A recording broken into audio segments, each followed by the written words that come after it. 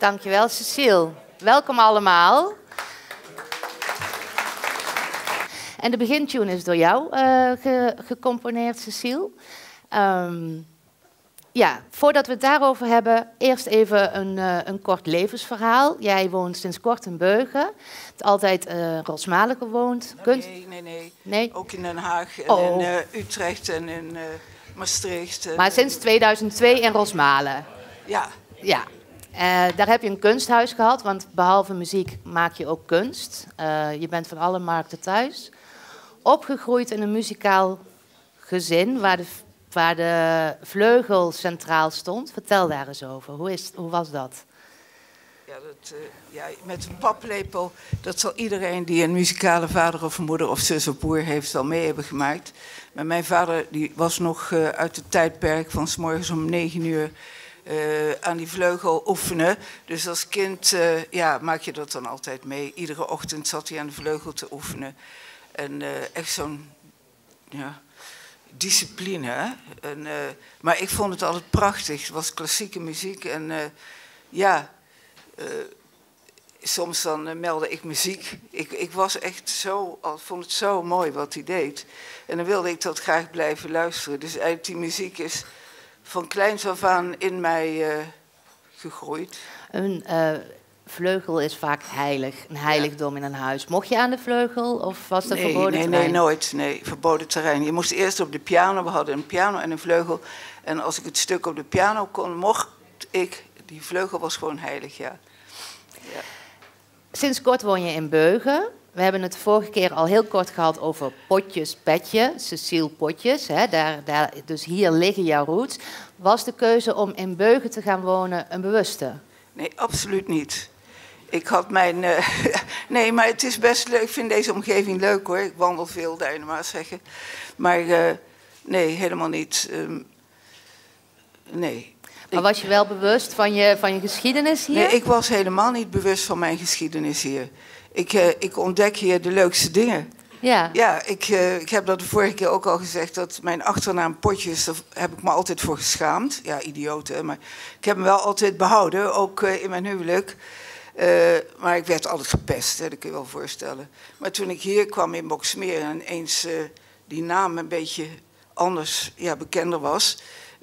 toen was het wel prettig, laat ik dat zeggen. Ja, ik ben er wel trots op nu. Ja. Dat komt uit door, door Boksmeer, ja. en wat heb je allemaal ontdekt hier, terwijl je, hè, vanaf het moment dat je hier kwam wonen? Nou, ik heb dat ouderlijk huis van mijn vader ontdekt.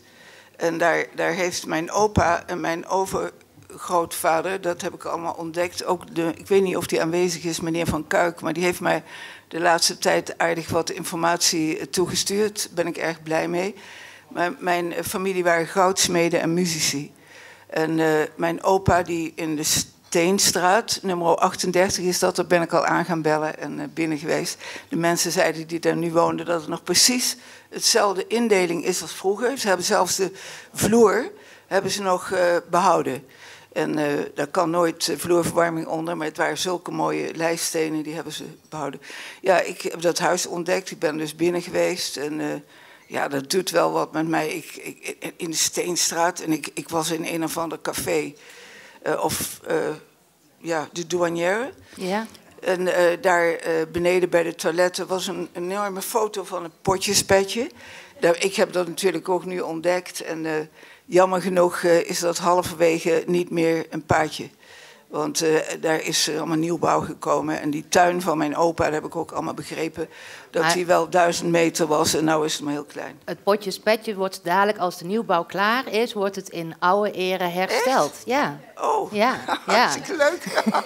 Weer wat geleerd. Weer wat geleerd en, ge en geeft deze, deze omgeving nou ook inspiratie? Want ik zei, je bent ook kunstenares. Krijg je nu andere inspiratie omdat je hier bent? Ja, zeker. De, de, ik vind uh, nieuwe, maar ik zie nogal wat mensen jonger dan ik, maar uh, op mijn leeftijd vind ik nieuwe ontdekkingen wel enig. Dus eigenlijk is een nieuwe uitdaging voor mij om hier te komen. En dan is het een beetje een warm badje als ik zo in Boksmeer al die roots ontdek. Ja. Want ik heb nooit mijn opa en oma of enige familie van mijn vader nooit gekend. En ik heb pas sinds kort foto's uh, gekregen via, via, via. Dus ik wist ook niet hoe ze eruit zagen. En ik heb zelfs begrepen dat een achter, achteroma, uh, die is Surinaams. En uh, ik weet niet of mijn zoon nou hier zit, maar wij hebben allemaal best wel een beetje krullen. En uh, als ik kijk naar foto's van, die ik dus heb gekregen van de zus van mijn vader, ja, dat is toch een beetje een negatieve Dan weet je waar ze vandaan komen, ja. de krullen. Ja. ja, nou ja. Maar ik heb nog iets leuks ontdekt vandaag. Uh, mijn tante is dat dus, die ik nooit heb gekend. Uh, de zus van mijn vader, die heeft hier in Boksmeer in een toneelgroep gezeten vroeger. Als, als jong meisje. En daar heb ik allemaal foto's van. En uh, die heb ik gevonden vandaag. Ja, echt leuk. Misschien dat er nog mensen zijn die, uh, die ook ooit... ja, superleuk zo'n zo'n ontdekkingsreis. Ja. Ik wil, want we moeten gaan afsluiten. Ja, ik wil heel even naar de begintune. Want ik vind dat, nou, wij vinden dat als, als commissie van Nieuwscafé heel bijzonder.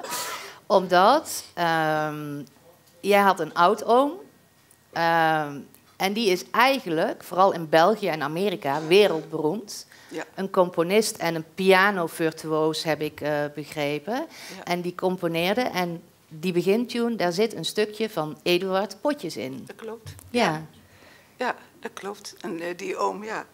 ja.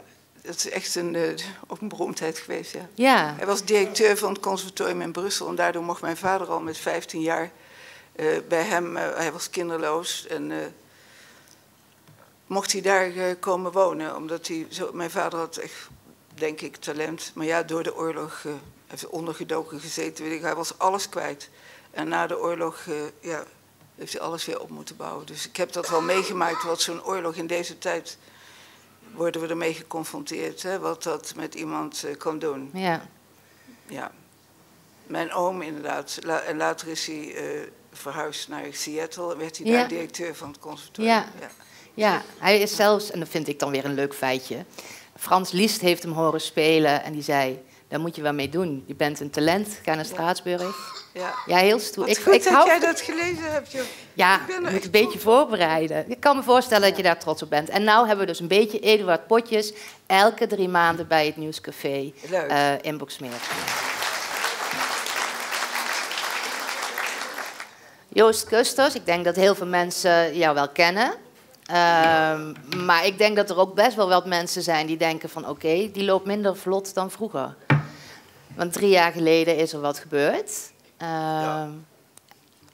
Kun je daar wat over vertellen? Ik heb uh, juni 2021 een hele zware beroerte gehad. ik weet er niet veel meer van. Het is uh, echt ook in het ziekenhuis wakker werd en links helemaal verlamd was. Ik heb daarna vijf maanden in de revalidatie gezeten in de Sint Maartenskliniek in Ubbergen bij Nijmegen. En uh, toen ik eindelijk weer een beetje op mijn poot kon staan, kreeg ik een wond aan mijn linkervoet. Dus uh, binnen een paar maanden was hij zo uh, groot uitgezaafd, uitgegroeid dat ze hebben gezegd van de, of die been eraf of grote kans op bloedvergiftiging. Dus been er ook nog afgehaald. Ja, en je, want je hebt echt op het randje gelegen, hè? Het was het erop ja, of eronder. Het was echt, uh, prognose was inderdaad ook nog, we zou kunnen praten en lopen. Ja, precies. Nou, daar heb je, die prognose ja, heb je in ieder geval. Zover zijn we al, ja. Precies. Um, hoe zag jouw leven voor uh, 2021 eruit? Ik was professioneel rallycoureur in, uh, in Engeland. Ik heb negen jaar in Engeland gewoond, net buiten Londen. En dat was echt mijn, uh, mijn wekelijkse werk, zeg maar zeggen. En dat gaat nou niet meer. Nee. Maar ja, Joost zou Joost niet zijn. Nee, we, zijn aan het werk in een comebackjaar, dus... Uh, ja, want... Uh, ondertussen heb ik mijn rijbewijs alweer en uh, ik rij alweer. Want je mocht niet rijden, nee, hè? Dat mocht, was, mocht niet rijden, nee. Dat had de dokter gezegd. Dus er was een hele, een hele traject. Tegen medische keuringen, ogen, neuroloog, gewoon normale medische keuring. Ja, zeg maar alles om om weer te mogen rijden. En zeggen de artsen niet zeg maar, die jou toen in behandeling hadden van dat je een soort van medisch wonder bent? Dat heb ik al via vier gehoord, maar ik heb die arts ook nooit meer gesproken. Dus eh, Nee? ik ga er ook niet meer terug, hoef ik niet. Nou, ik, zou- ik zou alleen al teruggaan om even te laten zien, kijk eens. Misschien doe ik het nog wel een keer. Ja, ja. Nou, eh, nou heb je nogal een ambitieus plan opgevat. En ik vind het echt super knap. In eerste instantie 2025, het wordt 2026. Maar je gaat eh, meedoen aan Dakar Classic. Ja, Ehm, even, iedereen kent de term Parijs-Dakar. Dakar Classic is iets anders. dat is Parijs Dakar Is- eigenlijk. ja? Het enige verschil is, eh, ze hebben ze tegenwoordig opgedeeld in diverse categorieën. Iedereen weet wel dat de vrachtwagens een aparte categorie is, met Jan de Rooij natuurlijk. En, eh, dus je hebt motoren, auto's, buggies, vrachtwagens. En eh, sinds eh, drie jaar zit er ook de Classic bij. Dat is meer eh, georiënteerd op het navigeren en continuïteit. Wat je eigenlijk in de woestijn nodig hebt. De Dakar zelf is van 78 tot 2007 in Afrika geweest. Daarna is door de terroristische dreigingen verhuisd naar Zuid-Afrika. Amerika, sorry, Ja. Zuid-Amerika. Ja, En nu is het Saudi-Arabië. ja, precies. Maar als je... Het is nog steeds een woestijnrace. Precies. Het is alleen maar woestijn. Ja, dat- Twee weken lang. eh, Hoe ga je dat doen? Nee, serieus, hoe ga je dat doen? Gewoon sanitair, ik bedoel... eh, Hoe? eh, elke dag begint in een bivouac. Dat is een soort tentenkamp. Ik zie eigenlijk nog niet in een tent slapen, dus ik neem een busje mee. Met een stretcher. Ja, doe je goed. Maar inderdaad, het wordt, eh, wordt zwaar, ja. Ja, want... En, en misschien heb ik het helemaal verkeerd begrepen, maar de andere auto's, dat gaat echt op snelheid. Maar dit gaat meer over, over dat je... Gemiddelde snelheid. Precies. Ja. En, en jullie moeten testen doen.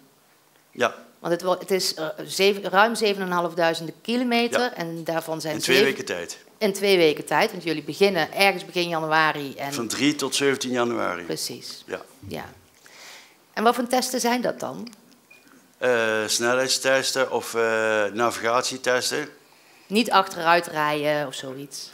Oh, dat, vind ik, dat zou ik goed vinden hoor. Kan ik ook. Kijk, dan zou het echt leuk worden.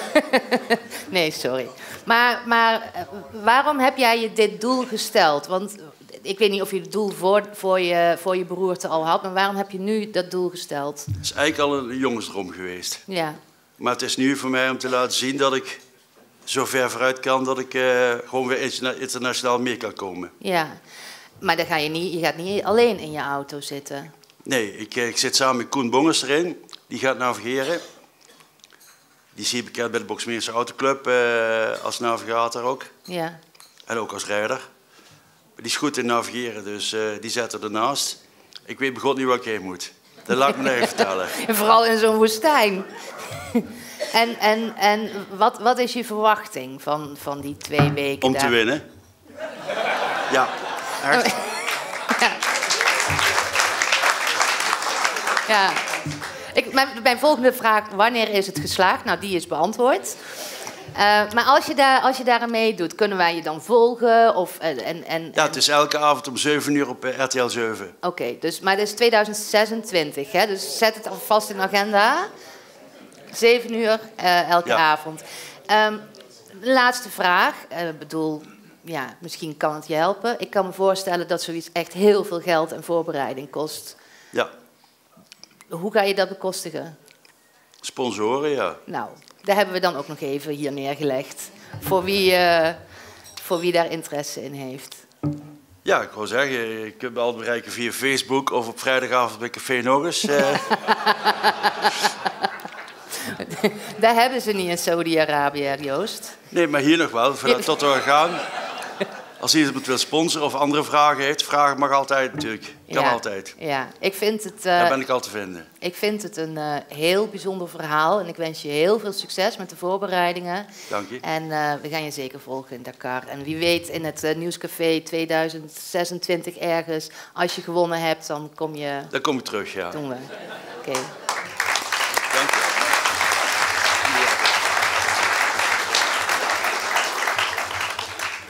Nou, een van de vaste onderdelen is, eh, is ook een eh, column. En we hebben deze week, uh, deze week zeg ik, deze keer uh, Frans Fleuren bereid gevonden om een, uh, een column voor te bereiden en voor te dragen. Dus de floor is yours, Frans. Een actueel onderwerp. Is armoede een keuze? Aristoteles zei reeds, armoede is de vader van revolutie en misdaad. Woody Allen bekeek het heel anders. Geld is beter dan armoede, al was het maar om financiële redenen. En Mahatma Gandhi had een uitgesproken opvatting. De grootste vervuiler op de wereld is de armoede. Waarom bestaat er in zo'n rijk land als Nederland toch armoede? De een, zoals het CBS, wijst op het belang van een goede opleiding om rond te komen. In 2023 had van de 25 tot 35-jarigen 10% alleen basisonderwijs of een VMBO-diploma. Hiertoe, hiertoe behoren in deze groep 250.000 mensen. Zij bungelen aan de onderkant van de arbeidsmarkt. Zonder verder diploma is ongeschoold werk voor hen de enige mogelijkheid. Bijvoorbeeld schoonmaken, vuilnis ophalen of komkommers of tomaten plukken in een kas. Deze mensen lopen het risico in armoede terecht te komen. Veel van hen hebben gelukkig een partner als ook dat inkomen, als die ook een inkomen heeft, kan het huishouden als geheel voldoende inkomen hebben. Maar indien alleenstaand is het voor de meesten waarschijnlijk de vraag of ze arbeid kunnen vinden waarmee ze voldoende inkomen verdienen om rond te kunnen komen. Wie leeft in bijstand is volgens het CBS arm. Dat wil zeggen minder dan 13.000 euro per jaar voor een alleenstaande. Je hebt dan allerlei toeslagen nodig om boven die grens uit te komen. In ons land leven nu zo'n 640.000 Nederlanders in armoede. Deze, of de kwetsbaarste groep, vormen de huishoudens die al langdurig arm zijn. Die lopen het gevaar van sociaal isolement en de kinderen lopen het risico dat ze psychisch belast opgroeien. In 2022 ging het om bijna 130.000 huishoudens die minstens vier jaar arm waren. Wel een stuk minder dan de 200.000 van de jaren ervoor. Dit vanwege de energietoeslagen in verband met de hoge gasprijzen. Daarnaast verstrekte de Voedselbank in Nederland in 2023 voedsel aan 180.000 mensen. Een snelle groei, want in 2015 waren het er nog maar voor 90.000 personen. Degene die bij de voedselbank komt, heeft in de regel geen baan. Zo beweert althans de voedselbank in Groningen. Het betreft veelal mensen die onder bewind staan, die in de schuldsanering zitten of voor wie het budget bewaakt wordt omdat ze niet goed met hun geld kunnen omgaan. Moeten het doen met leefgeld en dat is gemiddeld zo'n 60 euro per week. Alleenstaande in de bijstand verkeren in de zwaarste positie. Met partner heb je maar één keer de vaste lasten zoals huur en energie. Dit geldt trouwens ook voor een alleenstaande met louter AOW. Met kinderen ontvang je kinderbijslag en het kindgebonden budget. Je hoeft dan maar iets te gebeuren, bijvoorbeeld een koelkast gaat kapot en zo iemand komt met een schuld te zitten die afgelost moet worden. En veelal ook nog eens een keer maandelijks. De voedselbank ziet overigens weinig migranten en statushouders. Statushouders die een huis hebben toegewezen gekregen, worden de eerste half jaar ontzorgd door de Groningse kredietbank. Waarom is armoede niet uitgebannen in zo'n stinkend rijk land als het onze? Het CBS heeft twee hoofdoorzaken. In de eerste plaats is armoede een relatief begrip. Hoe rijk een samenleving ook is, er zullen altijd mensen zijn die niet het minimaal noodzakelijk inkomen hebben. In de tweede plaats zijn er mensen die simpelweg niet in staat zijn te voorzien in hun eigen levensbehoeften, omdat ze niet in aanmerking komen voor welke baan dan ook. Mensen die serieuze fysieke en of mentale beperkingen hebben. Zij zijn afhankelijk van de liefdadigheid van de samenleving. In ons land is sinds Wereldoorlog II de verzorgingsstaat opgetuigd om mensen te helpen die niet meer voor zichzelf kunnen zorgen. Die mensen lopen dan hoe dan ook het grootste risico om in de groep armen te vallen. Doch emeritus hoogleraar sociale wetenschappen Trudy Knijn neigt veel, meer naar, veel minder naar relativering. Zij beklemtoont de politieke keuze die de basis voor armoede vormen. Ten eerste, vindt zij, is het minimumloon te laag. Daar wordt al lang over gesproken. Verwacht werd dat in dit kabinet het NSC zou helpen het minimumloon te verhogen. Want dan wordt de bijstand op afgestemd. Doch die partij heeft het niet gedaan. Mensen in de bijstand, en dan vooral gezinnen, komen nu zo'n 200 euro per maand tekort voor reguliere uitgaven. Dat probeert de overheid te repareren met een heleboel toeslagen, zoals huurtoeslag, zorgtoeslag en kindertoeslag. Die moeten het te lage minimuminkomen en de te lage bijstandsuitkering compenseren. Maar dan kan het volgens haar toch nog fout gaan. Mensen durven geen toeslagen meer aan te vragen omdat ze bang zijn voor repercussies. Er is te veel zorgmijding. Daarnaast is het toeslagensysteem nogal ingewikkeld. Diverse mensen met een laag inkomen hebben namelijk ook een lage opleiding en zijn niet in staat hun recht te halen. Volgens Knijn zijn mensen die bijstand ontvangen echt arm. Het CBS wijst erop dat de bijstand tegenwoordig lager is dan vroeger.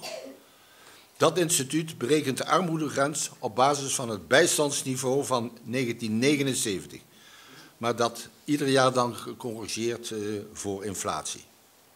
In 1979 zat de bijstand op het hoogste niveau ooit. Dat was de tijd dat je, bijstand, dat je met bijstand alle noodzakelijke uitgaven moest kunnen dekken. In de jaar daarna is de verzorgingsstaat versoberd en is op de bijstand bezuinigd. Als je tegenwoordig bijstand hebt als enig inkomen, zit je onder de lage inkomensgrens die het CBS hanteert. Sinds 1979 zijn de prijzen namelijk harder gestegen dan het bijstandsniveau. Behalve door politieke besluitvorming wordt armoede ook veroorzaakt door structurele ontwikkelingen, zoals de deindustrialisering en de ommezwaai van Nederland naar een diensteneconomie. Die heeft geleid tot langdurige werkloosheid onder grote groepen in de samenleving. Opmerkelijk is dat de verzorgingsstaat soms gebruikt lijkt te worden om mensen te parkeren die niet meer passen in deze moderne economie. Dat blijkt uit de grote aantallen jongvolwassenen in de Wajong. In arbeidsongeschiktheidsuitkering voor jong gehandicapten. Niet zozeer om mensen met een fysieke beperking, maar met een ontwikkelingsstoornis zoals autisme. Onderzoekers gaven als reden dat er in de marktgedreven moderne economie minder ruimte lijkt te zijn voor laag productieve werknemers. Dat de CBS de politieke en de economische keuzes van de laatste decennia onderschat. Als je de loonontwikkeling bekijkt vanaf de jaren 90, dan blijven de lonen achter bij de inflatie en bij de winsten. Dus concludeert zij zonder omwegen de voedselbanken zijn opgekomen omdat de mensen zien dat anderen gewoon niet meer kunnen rondkomen.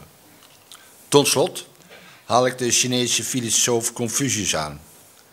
In een goed geregeerd land is armoede iets om je voor te schamen.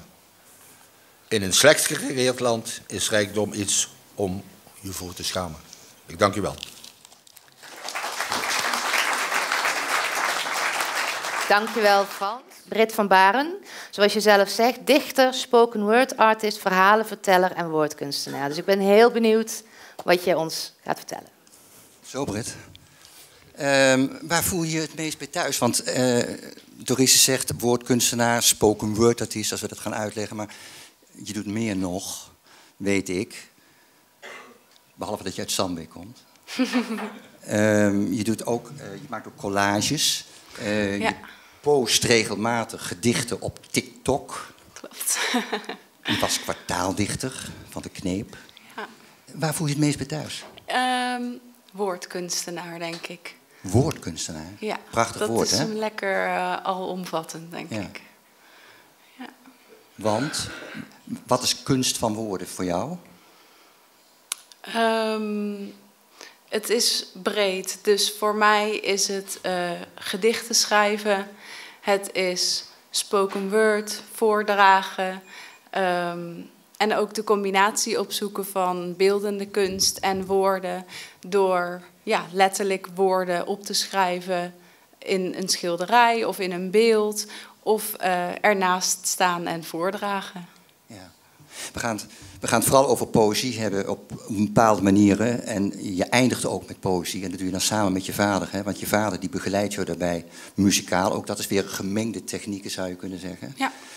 Um, je schrijft ergens of je zegt ergens... Uh, poëzie is tekenen met taal. Vind ik een prachtige zin. Is ook zo? Verklaar je nader. Um, nou, ik ben eigenlijk vooral begonnen met uh, tekenen, schilderen en uh, ik ben naar school yes. geweest voor de beeldende kunst.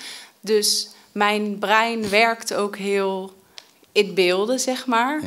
Ja. Um, dus ja, daarna ben ik eigenlijk pas begonnen met schrijven. En ik merk in mijn teksten dat ik ook veel ja, beelden omschrijf en beelden probeer op te roepen. Dus ja, dat ligt heel dicht bij elkaar ja. voor mij. Poëzie is tekenen met taal, maar dan zeg je erbij... de enige regels zijn de, regels, regels, die, ik zelf, zelf bepaal. bepaal. en dan denk ik, dat is leuk, maar ja. uh, je hebt een kunstopleiding gehad... En je hebt natuurlijk ook geleerd dat er toch bepaalde regels zouden zijn. Ik neem aan bijvoorbeeld bij gedichten, metrum, uh, klank, nou ja, rijm, weet ik wat. Maar uh, hoe kijk nou, je er tegenaan? Um, wat ik heb meegekregen van de kunstacademie is uh, dat er regels zijn. En dat je de regels moet kennen. En dat als je ze kent, dat je ervoor kan kiezen om ze allemaal te negeren. Maar je moet wel weten dat ze er zijn, waarom ze er zijn en waarom je ze dan zou negeren. Ja, dat, is, dat heb je geleerd op die kunstacademie. Ja, daar ben ja. ik het wel mee eens. um, wat vind je het belangrijkste in poëzie? Wil jij iets overdragen, dat de mensen dingen beleven? Wil je iets kwijt? Wat, wat, wat is jouw drijfveer vooral? Um, ik denk dat het vooral begonnen is met dat ik zelf iets kwijt wou. Uh, en dat het ja, gewoon heel persoonlijk en een vorm van uh, ja, overdenken of dingen begrijpbaar maken ja. voor mezelf. Nu, een paar jaar later, um, wil ik vooral het publiek iets laten ervaren. Zonder dat je precies hoeft te weten wat iedere zin betekent of waar het nou precies over gaat, maar dat je wel in gevoelsmatig denkt van ja, ik voel hem. Ja. En um, je werkt ook met thema's in wezen in je poëzie. Hè? Ik, ik, ik, heb, ik vind het een beetje een soort onderzoekende poëzie. Ja. En uh, wat dat betreft, zo'n thema is, uh, er zijn er meerdere, uh, bijvoorbeeld thema mentale gezondheid, noem je. Ja. Maar het kernthema is denk ik identiteit. Klopt, ja. En identiteit, ja, geef het eens handen en voeten een beetje. Ik bedoel, wie ben ik? Ja, ja wie ben ik? Uh, dat is een hele interessante vraag ja, voor mij, ja. omdat het antwoord geen enkele dag hetzelfde zal zijn. En daar probeer ik dan uh, over na te denken door middel van wie was ik of wie wil ik zijn. En dan uh, ja, ja daar, ik weet niet. Ik vind het gewoon een hele interessante vraag. Ja. Wie wil ik zijn? Ja. Want uh, op een gegeven moment, uh, dat komt dan terug misschien ook wel in het uh, gedicht... wat je strakjes voordraagt met je vader. daar zit ook iets van, ja, iets van een levensfilosofie in, hè? De, um, ja, wat ik dadelijk voor ga dragen... Um... Ja, ik kom er zo nog wel even op terug. Je komt er zo ja. nog even op um, wat ik heel interessant vind... Uh, wat je aan het ogenblik aan het doen bent uh, op het poëziegebied, het is dat het opzetten van een jongere poëzieclub. Hè? Ja. Want poëzie is niet alleen maar voor, jij bent ook jong overigens, maar vaak zien we nu dat er uh, poëzie vertraagt. De, de, oudere mensen zijn bezig op een of andere manier nog net met lezen en met lezen poëzie doen niet zoveel mensen. Maar jij zit aan de onderkant, en daar zijn we hartstikke blij mee als Kneep, om jongeren te enthousiasmeren. Ja. Uh, hoe, maar je doet het ook nog op een bijzondere manier. Want ik heb gelezen, uh, je doet het met samenschrijven. Hoe gaat dat? Nou, um, heel praktisch. Eén keer in de maand komen wij samen bij de bibliotheek in Kuik. Ja. En dan ehm, heb ik een leuke opdracht bedacht, meestal. Of ik vraag wat zullen we gaan doen. Of we bereiden een activiteit voor. We hebben laatst um, tijdens de kinderboekenweek hebben we samen met Bubio Plus een workshop gegeven aan basisschoolkinderen. Mm -hmm, goed. Dus dan heb je ook iets om naartoe te werken. En dan, ja, samen. We, zijn een, uh, we bestaan nu zes maanden, dus nog jong. En uh, we zijn nog niet zo jong groot. En ja. Maar ik dacht dan samenschrijven, omdat je ook iets gedaan hebt voor Scheid aan de Grens. Dat Ja, je het ja. samen, dat die tekst Ja. op een of andere manier samen tot stand is gekomen. Of had ik het dan fout? Nee, daar hebben we inderdaad met z'n vieren een gedicht geschreven. We waren met z'n vieren toen. Ja? Ehm, eerst hebben we allemaal zelf iets geschreven. Daarna hebben we alle zinnen losgeknipt. En toen zijn we daar een, eh, een heel nieuwe puzzel van eh, gaan leggen. Ja. Ja, Leuk dat het eh, dan meteen een podium krijgt, hè, in Scheid aan de Grens, wat dat ja, betreft. inderdaad. hey, je gaat zo meteen optreden met een prachtig gedicht. Eh, je laatste, min of meer geloof ik. In ieder geval het, het gedicht wat ik dan eh, als zodanig ervaren heb. Ja. Eh, dat gaat over een duif die zit in je tuin. Maar die Of duif, die zit niet echt in je tuin, die zit ook in je hoofd. Hè? Daar gaat het over. Daar het gaat over. over. ehm, ik wil ook niet te veel verklappen. Ehm, maar het, het gaat over een vrouw die Ja. een beetje de realiteit verliest. Maar ja, waar komt dat nou door? Ja, Eh, maar ik verklap toch niet te veel als ik zeg van. eh, dan denk ik nou even terug naar Frans eh, Fleuren. We leven wel in een soort red race. Ja, En we ja. draaien door. En die duif die maakt ook allemaal cirkeltjes enzovoort. Ik ga niet alles verklappen, maar het is natuurlijk altijd goed om een beetje eh, de duiding te geven. Ja. Eh, want het is niet alleen dat, maar ehm, eh, het zegt ook iets over eh, waar we heen gaan. Ja, inderdaad. Nou, dat zeg je wel goed, denk ik. En ehm, de boodschap is een beetje... eh, je kan heel veel ergens van vinden en je kan er heel lang over nadenken. Je kan het stuk denken tot je weer bij het begin uitkomt. Ehm, maar om verandering teweeg te brengen, moet je iets doen. Ja. En eh, die verandering, die eh, tref jij soms aan in je dromen, heb ik begrepen. Ik, nou, nou nee. Oh. dat is een beetje creatieve vrijheid, denk ik. Goed. Ehm, maar ik vond het een prachtige zin, en die wil ik, daarvoor wil ik eindigen. En dan ga jij zo meteen eh, hier of wat dan ook, en dan kan je vader vast eh, naar, de, naar het podium gaan om zijn fritaar te pakken. Ja, Dennis, want mijn vader, vader, Dennis. Dennis. van Baren, die gaat eh, achtergrondmuziek erbij spelen. Want ik vond het een prachtige zin, zeker die allerlaatste zin. De dromen waarin ik doodga zijn eigenlijk het meest logisch. Want je gaat nergens heen. En ooit zal dat genoeg zijn. Prachtig. Dankjewel.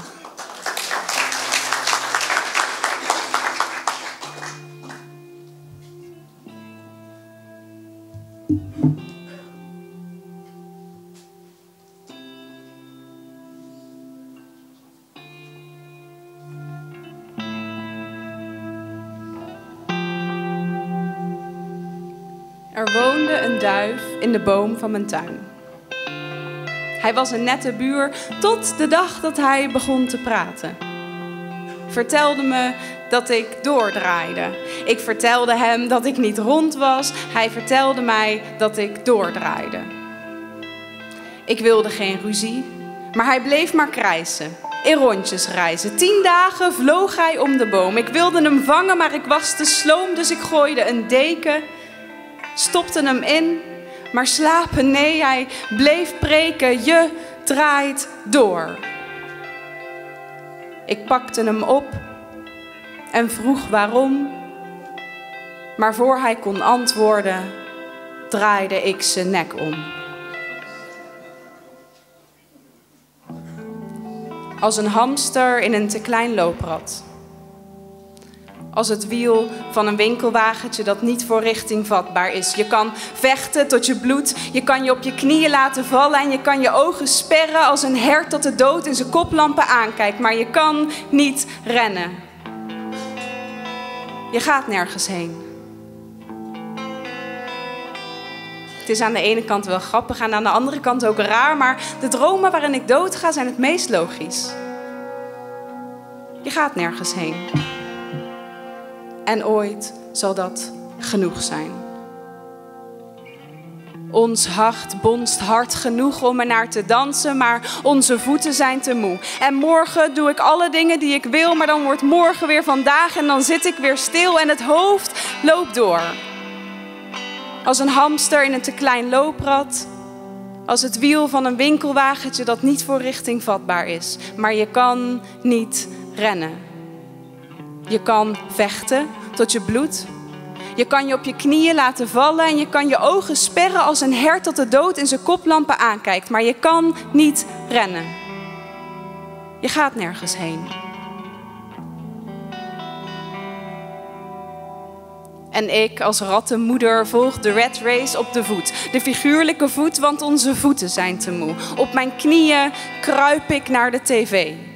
Ik eet, ik werk, ik poets. En morgen doe ik alle dingen die ik moet. Maar dan wordt morgen weer vandaag en dan zit ik weer stil. Maar ik zit niet stil, want ik eet, ik werk, ik poets. En ik kijk tv. Ik voel me slim, want ik doe niet aan de red race mee. En ooit zal dat genoeg zijn. Het is aan de ene kant wel grappig en aan de andere kant ook raar, maar de dromen waarin ik doodga zijn het meest logisch. Je gaat nergens heen. Er woonde een duif in de boom van mijn tuin. Maar nu niet meer. Nu zoekt hij me op in mijn slaap. Eerst ging ik nog met hem in gesprek, maar zijn gekrijs en gepreek kwam uit mijn eigen bek. Het maakte me gek. Die stem uit mijn keel. Het was te hard en het was te veel. En het is precies daarom draaide ik mezelf de nek om. Het is aan de ene kant wel grappig en aan de andere kant ook raar, maar de dromen waarin ik doodga zijn het meest logisch. Je gaat nergens heen. En ooit zal dat genoeg zijn.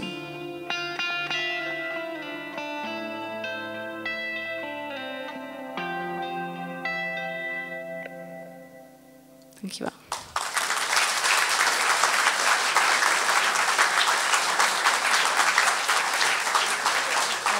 Eerlijk gezegd, we hadden de vorige keer de burgemeester, nu hebben we de wethouder van ruimtelijke ontwikkeling, landbouw en gemeentelijk vastgoed, Mark Jansen van Gaal. Fijn dat je kon komen.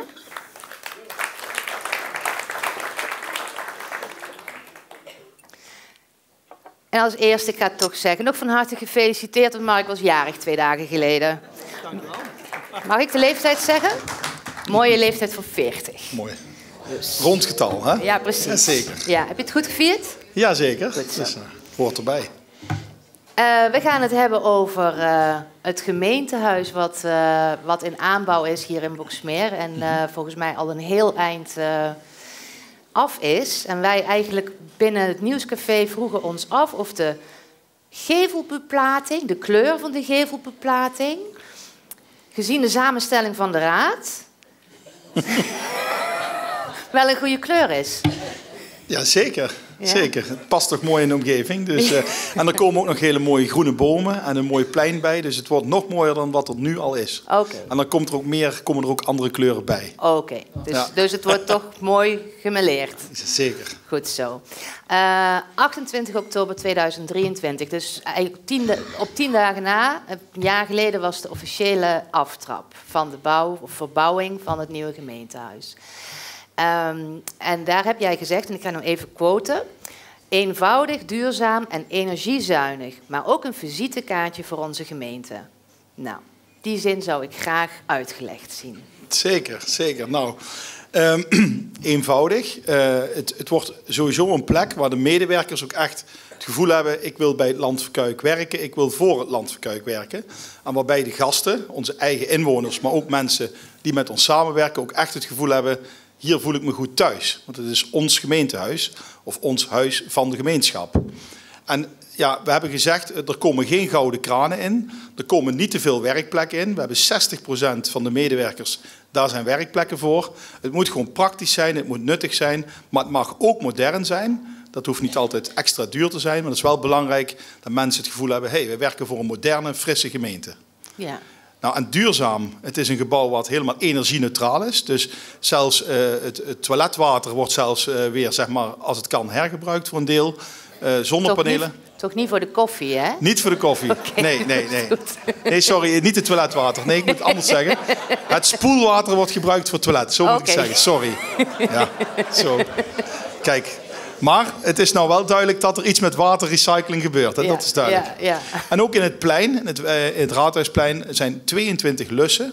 Dus we hadden een hoogtepunt van de bouw, maar we hebben ook een dieptepunt gehad in de bouw. En dat is namelijk nu. Nu worden dus allemaal diepe leidingen gemaakt, zodat de warmte van de, van de bodem wordt gebruikt om ons eh, gebouw te verwarmen. Dus het is echt heel modern. En dat is ook gewoon helemaal aan de eisen van de tijd. Ja.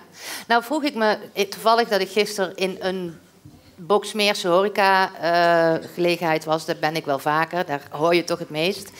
En eh, toen zeiden ze van ja, het plein wordt ook een beetje warm. En toen vroeg ik me meteen af, ik, maar daar komt natuurlijk ook de ijsbaan. Gaat dat niet eh, problemen opleveren? Nou, ik weet niet of het plein extra warm wordt, want het is juist door wat vergroening op het plein willen we wat warmtestress tegenhouden. Dus er komen wat bomen bij, komen bloembakken bij, er wordt allemaal eh, ook mooi aangekleed. En er is extra rekening gehouden met de tent van de IJsselstein en andere evenementen dat we dan de meeste bomen blijven staan, maar we hebben twee bakken zodat er gewoon zowel het terras van de horeca gewoon mooi kan blijven, maar ook eh, de tent voor, eh, voor het festijn. Ja, oké. Ja. Dan, dan hoeven we ons daar geen zorgen over te maken. Nee, nee. Ehm, ik wil heel even een uitstapje maken. Want we hebben natuurlijk, hier komt dadelijk het ge- prachtige gemeentehuis. Maar we hebben heel veel gemeentehuizen in eh, de voormalige gemeentes eh leeg staan. Of daar gaat van alles mee gebeuren. En met name, zoals het geloof ik in het Kuik genoemd wordt, de glasbak. Daar, eh, daar zijn allerlei initiatieven al geweest. Er is een ideeënbus, een inspiratiesessie, meedenksessies, weet ik wat. Aan het eind van dit jaar moet bekend zijn wat er met de glasbak gaat gebeuren. Is daar al duidelijkheid over? Wordt het een zorgcentrum? Of... Dat gaan we op een bepaald moment bekendmaken. Oké. Ja, jullie zijn wel We een nieuwscafé. Jullie willen nieuws maken. Ja. Maar het belangrijkste is dat we in ieder geval op. We hebben dus eerst geluisterd naar de omgeving. En ook naar bijvoorbeeld het, dor- het eh, dorpsmanagement, het centrummanagement, de dorpsraad. We hebben echt gewoon eerst geluisterd. Dat zijn we nu allemaal aan het verwerken. Wat kan er allemaal? En het belangrijkste in Kuik bij het gemeentehuis is dat er reuring moet blijven op het plein. Ja. Want je kunt daar 100% kiezen voor woningbouw. Maar je wil eigenlijk aan dat plein wat dynamiek hebben. En dan geen horeca waarschijnlijk. Want die hebben we al genoeg in Kuik. Hè, dan moeten we vooral ook de horecazaken die er zijn stimuleren dat die ook kunnen blijven. Maar ja, dan is dus de vraag hoe kunnen we met een stukje bedrijvigheid, misschien eens met onderwijs, met mensen die bij elkaar komen. Hoe kunnen we zorgen dat er in ieder geval iets gebeurt. Dan zijn we allemaal aan het uitzoeken. eh, ja, om in ieder geval eh, dynamiek op het plein te houden. Het is een heel klein tipje van de sluier was dit, eh Mark, denk ik. Zeker. Ja, dank je wel daarvoor. Ehm, je gaf net al aan 60% eh werkplekken. Dat betekent dat er voor 40% van de ambtenaren geen werkplek is. Hoe, hoe gaan jullie dat oplossen? Is er een, een, een systeem, neem ik aan, van thuiswerken, flexwerkplekken? Ja, er wordt nu op dit moment, en dat zag je al voor corona, na corona nog meer, de techniek is ook beter geworden, wordt er ook gewoon veel thuis gewerkt. Er wordt ook op verschillende dagen al gewerkt in de huidige gemeentehuizen. Het ene team zit op dinsdag bij elkaar en de andere op woensdag bij wijze van spreken. Dus we gaan op die manier de ruimtes ook anders inrichten en anders gebruiken. En er is ook een werkcafé waarbij je dus eh, iets kunt eten, ook wat gezondere producten voor de medewerkers. Maar ook dat je nog even met je laptop kunt eh, ja, vergaderen, maar ook even kunt bijpraten. Dus het wordt steeds meer een dynamiek dat je kunt in- en uitlopen. Ja, en de kantoortijden die worden in die zin ook steeds meer verruimd. Ja, precies. Ja. Ehm, desondanks, hè, er, gaat er gaan gewoon meer mensen naar Boksmeer komen. Ehm, ik eh, denk dat ik voor, voor iedereen hier, eh, die zal het beamen, wij... eh, nou ja, Boksmeer loopt een beetje dicht qua wegen. Het is eh, dagelijks een verkeersinfarct, parkeerproblemen. Hoe gaan we dat doen, Mark? Nou ja, dat hebben we, hoeveel minuten hebben we? nee, maar het belangrijkste is dat wij qua eh, medewerkers... Het Weijerplein eh, wordt nu op volop opgeknapt. Dus daar is er een extra ruimte voor extra parkeergelegenheid gekomen. Maar het is ook zo dat we in ons gemeentehuis straks een aantal deelauto's hebben. Elektrisch dan vooral tegenwoordig. Dus we gaan ook echt met de medewerkers eh, projecten in van kom als je... Want heel veel mensen wonen gewoon binnen 15 kilometer van... Dus we hebben heel veel medewerkers van de gemeente die in onze gemeente wonen. Nou, en dan is eigenlijk eh, het idee dat we en deelauto's hebben. Dus dat mensen eigenlijk met de fiets ook meer naar het gemeentehuis komen. En dan ook gewoon als we ergens toe kunnen, gewoon met de deelauto kunnen rijden. Ja, en tegelijkertijd zijn we continu bezig met de parkeerdruk in, eh in Boksmeer om dat te meten. En we konden bij het Weijerplein een eh, een, ehm, een, eh, hier, Parkeergarage. een parkeergarage, een parkeervoorziening zouden we dan zeggen. Alleen ja, dat is ook voor de buren natuurlijk geen interessant beeld geweest, hoe groen we het ook maakten. Dus er is in het begin echt besloten, want in het begin was het plan om dus een parkeergarage te maken. Dat willen we niet. En dat kunnen we omdat we een parkeerdrukonderzoek hebben gedaan en dat sinds dat ook het plein bij eh, het hoogkoor extra is opgeknapt, daar ook meer beweging is. Dus hier is de parkeerdruk wat gedaald, daar is wat extra parkeerdruk gekomen. Ja, en het hele verkeersvraagstuk van Boksmeer, daar is sowieso een avondvullend programma. Ja. Dus daar kunt u een keer Antoinette Maas voor uitnodigen, want Precies. daar zijn we op volop eh, mee bezig. Oké, nou Ja. goed om te horen dat er naar gekeken wordt.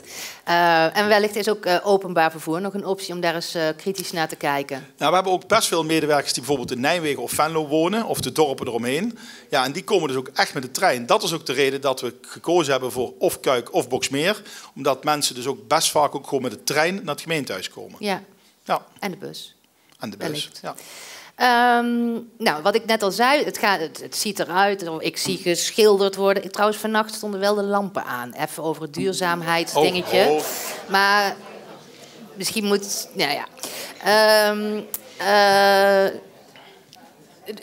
er wordt volop geschilderd. Ehm, wanneer kunnen wij de eerste ambtenaren en, en BMW en de raad in, in, aan het werk zien in Boksmeer? aan het werk zien. Ja, nou het begint met 31 december, dan wordt de bouw opgeleverd. Dus voor het einde van het jaar zijn alle echte bouwactiviteiten klaar.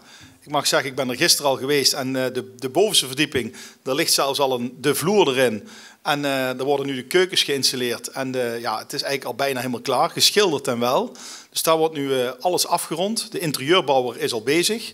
Vanaf het begin van het jaar dan komen echt de finesses van de kunst, eh, de deurknoppen, echt details die nog moeten gebeuren. En dan is de bedoeling dat we in het eerste kwartaal eh, alles gaan afronden. En het begin van het tweede kwartaal ook echt al een aantal mensen gaan starten. Dus er is een startdatum die we binnenkort bekend gaan maken. Waarbij we eh, echt gaan zeggen, dan beginnen er een paar teams. Want wat we dus niet gaan doen is eh, op één dag iedereen verhuizen. We gaan rustig aan opbouwen, zodat de dienstverlening, want dat is belangrijk voor de mensen, dat de dienstverlening gewoon goed door blijft gaan. En jullie hebben wel al nu, zou ik maar zeggen, duidelijk welke afdelingen, wie tegen die mooie schuine balken kan, kan kijken en zo. Nou ja, de, de mensen hebben geen eh, eigen werkplekken meer. Dus het is over het algemeen, een paar uitzonderingen na, gewoon echte flexwerkplekken. Maar het is wel zo dat er groepen zijn waar bijvoorbeeld verschillende soorten teams wel bij elkaar, want je moet elkaar wel kunnen treffen. Dus Ja. er komen vlekken waar je dus zeg maar gaat zitten, maar het is wel veel meer een samenwerkingsplek en een ontmoetingsplek geworden. En eh, wanneer mogen wij komen kijken met z'n allen? Nou, er komt een moment dat we binnenkort een datum eh, bekend gaan maken over, eh, over zeg maar echt de opening. En dan komt er een open dag voor familieleden van medewerkers, voor mensen die... Daar ben ik. ja, kijk. Voor mensen die ook heel veel met ons samenwerken. En voor alle inwoners komt er een open dag. Want hoe mooi is het om samen ook het nieuwe gemeentehuis eh, te beleven. Ja, nou, ik ben heel benieuwd. Ik, eh, het, eh, nee, trouwens, nog één dingetje. Ehm, er is ooit in het verleden gesproken dat, dat, dat eh, in Boksmeer moet aan een soort van ik heb, his, hi- historiserend bouwen. Dus hè, dat, het, dat het allemaal ehm, ja, past in de geschiedenis, hoor ik iemand zeggen. Zeker. Hoe, hoe moet ik dat zien met dit gemeentehuis? Nou ja, dit is eh, heel modern, maar de, om- de, de gevels eromheen, daar zitten wel echt eh, ook eisen. Dat zie je ook bij alle mooie bouwprojecten, dat er echt hi- eh, historisch wordt gebouwd. En in principe gaan wij ook terug op iets wat in, het, in de historie is bedacht. Want als je naar het gemeentehuis kijkt, dan is het een boek wat opengeslagen wordt. Ja, dit is heel filosofisch, maar de architect destijds heeft bij de ontwerp van de eerste deel al gedacht dat als je, het, als je een, een boek openslaat, dan heb je een soort vleugel. En dat is dus nu de nieuwe aanbouw. En dat zie je niet meteen vanaf de wegkant, maar als je vanaf bovenaf kijkt, en we zullen bij de open dag, dat is een belofte bij deze, zullen we dat nog eens een keer presenteren, dan zie je ook echt dat het boek opengeslagen is en dat er dus nu tijd is voor een nieuwe bladzijde, Nou, een nieuw en- hoofdstuk. En weet je wat, wat ik dan meteen denk? Het is zo fijn dat we een gemeente hebben dat een open boek is. Ja, dat is een mooie... eh, ja. Ja, dankjewel.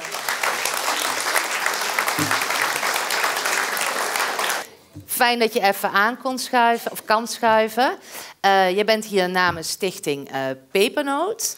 Ja, actie Pepernoot. actie. Pepernoot. Pepernoot Boksmeer zelfs. Oké, ehm, want op 2 november hebben jullie een inzameling. Daar kom ik zo op terug. Want kun je wat vertellen over wat, wat houdt het in? Nou, actie Pepernoot gaan wij uh, dit jaar voor de vijfde keer een inzameling houden uh, van uh, speelgoed. En daarmee willen wij kinderen blij maken waarvan de ouders het op dit moment mm, nou, niet in de financiële mogelijkheid zijn om hun kind met Sinterklaas een mooie zak met speelgoed te geven. Ja, sluit natuurlijk heel mooi aan op de column van Frans. Ja, het sluit hartstikke mooi aan. Um, hoe, hoe worden die gezinnen, hoe weet je welk gezin um, wat nodig heeft of iets nodig heeft. Ja, uh, nou, die heeft vorig jaar ook een stuk um, in de krant gestaan, in de Gelderlanden, dat het ging over privacy. Uh, wat wij doen is, uh, en met dank aan Hilly van Nerven, die al jaren sneeuwbal doet, um, wij krijgen van de gemeente geen namen. Wij krijgen aantallen van kinderen en uh, daarbij de geboortejaren.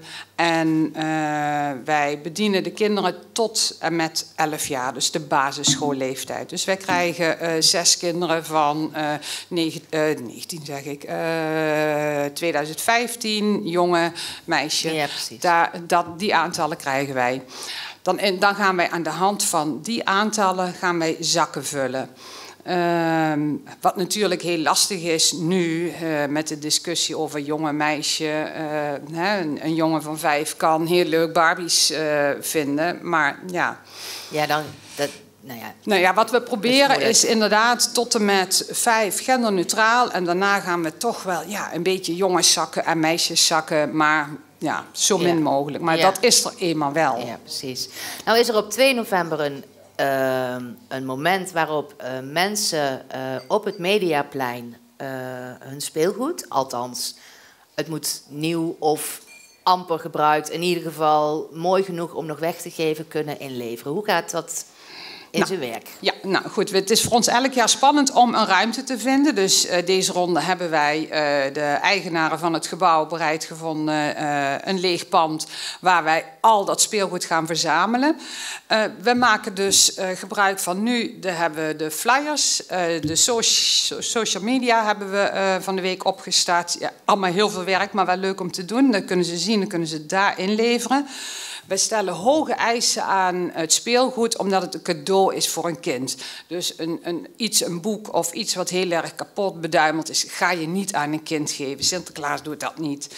Dus, um, en dan gaan wij het sorteren. En dat doen wij. Wij proberen in elke zak een puzzel, een, um, een buitenspeelgoed dingetje, een boek, uh, knutselmateriaal. Dus echt allerlei categorieën van speelgoed in die zak uh, te doen.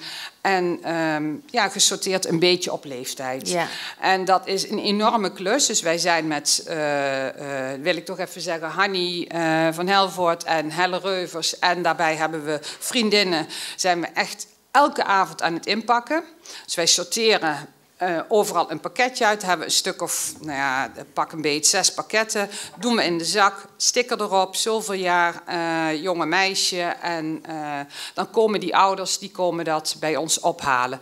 Wij krijgen dus van de gemeente uh, helemaal verder geen gegevens. Die ouders die krijgen, we hebben een brief gemaakt, die krijgen de uh, ouders en die kunnen bij ons komen. En wij weten ook niet van die ouder, uh, heeft hij één kind of heeft hij er zes of whatever.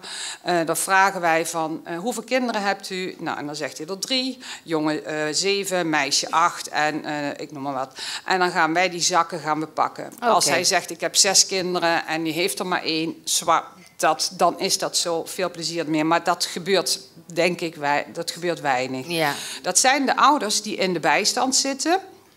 Uh, in de bijzondere bijstand zitten.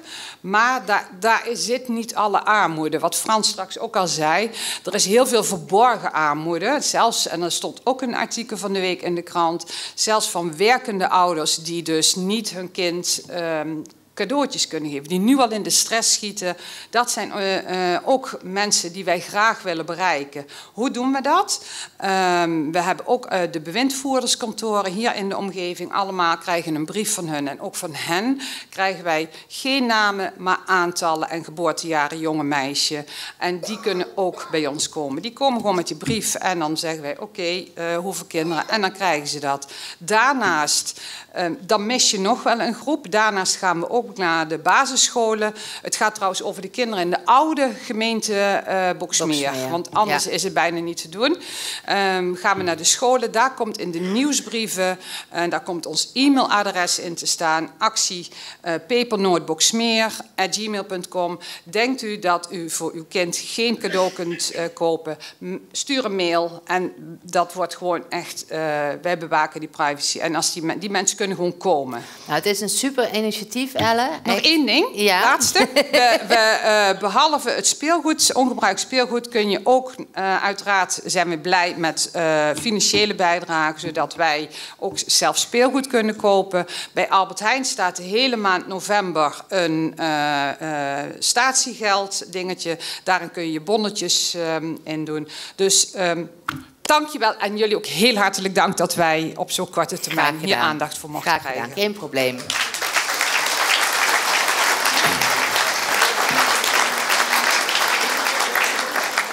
Ja, dan zijn we toch echt eh, aan het einde gekomen van het nieuwscafé. Ehm, eh, Cecile, mag, eh, je mag nog even de prachtige tune laten horen als je wil, zometeen.